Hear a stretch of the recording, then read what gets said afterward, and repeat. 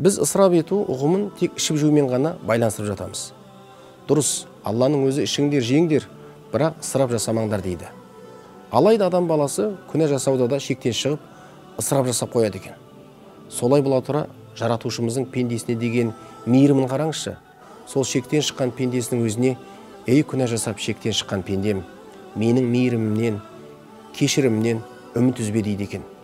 тіпті пендесі өзінің қателігін мойындап енді тоқтайын саған шүкір етейін мені дұрыс жолға түсіре көрші десе алла тағала қуанып ол пендесін жақсы көріп қалады екен. Қарап отырсақ дүние өте арзан. Алланың берген бағасы сыйын еш нәрсеге татымайтын күнәмен өткізу адам баласына үлкен сын болса керек.